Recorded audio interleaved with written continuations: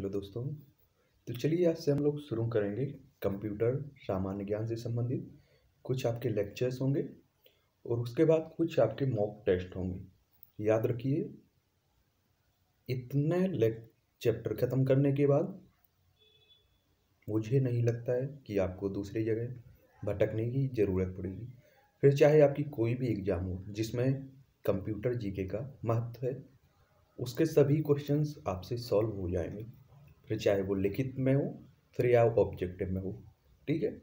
तो आपको इतने, जितने चैप्टर नीचे दिए जा रहे हैं, इतने आपको अच्छे से एडजस्ट करके सुनना है, ठीक है? और जो हम लोग मॉक टेस्ट लगाएँगे, उनके बारे में भी आपको पढ़ना है, बस। उसके बाद आपको कंप्यूटर से मुक्ति मिल जाएगी। यानी कि कंप्यूटर सिलेबस आपका कंप्लीट हो जाएगा। तो सबसे पहले हम इस लेक्चर में बात करेंगे कंप्यूटर का परिचय देखेंगे।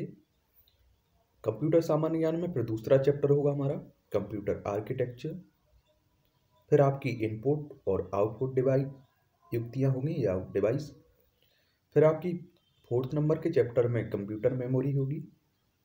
फिर डेटा निरूपण। याद रखना है, इनके बारे में हम लोग विस्तार से पढ़ेंगे। और लास्ट में फिर हम लोग मॉक टेस्ट लगाएँगे। तो उसमें आपके जो वन डे एग्ज़ाम में वन लाइनर आते हैं क्वेश्चन वो भी सॉल्व हो जाएँगे। डेटा निरूपण के बाद हम लोग बात करेंगे कंप्यूटर सॉफ्टवेयर के बारे में। सातवें चैप्टर में हम लोग ऑपरेटिंग सिस्टम देखेंगे। आठवें चैप्टर में हम लोग माइक्रोसॉफ्ट विंडोज़ देखेंगे। फिर नौवें चैप्टर में माइक्रोसॉफ्ट ऑफ़िस देखेंगे। डेटाबेस की धारणाएँ देखेंगे। फिर डेटा संचार और नेटवर्किंग देखेंगे।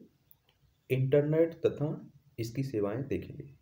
फिर कंप्यूटर सिक्योरिटी देखेंगे तेरहवें चैप्टर में। फिर हम लोग बात करेंगे कुछ सं, शब्द संक्षेप। कुछ शब्द संक्षेप।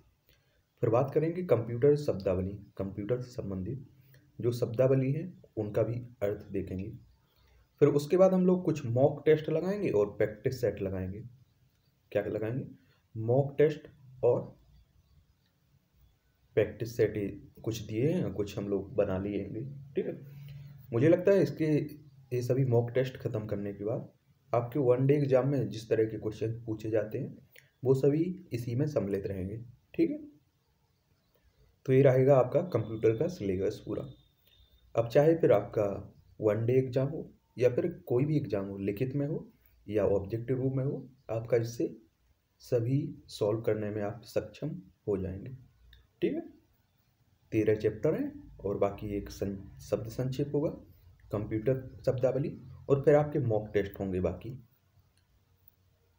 इतना ही आपको पढ़ना है बहुत काफ़ी है इसके बाहर कोई भी क्वेश्चंस नहीं जाएगा आपका ठीक है? टेंशन नहीं लेना है इतना पढ़ लीजिए काफ़ी हो गया बहुत ज़्यादा हो गया क्योंकि बहुत ही डिटेल में बताया गया है इसमें। तो चलिए पहला कुछ चैप्टर होगा हमारा अगला कंप्यूटर का परिचय देखेंगे हम लोग आगे से।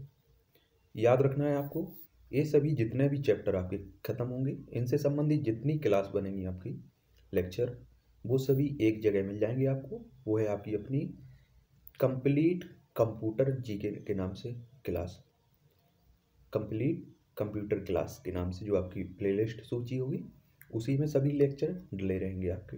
ठीक है?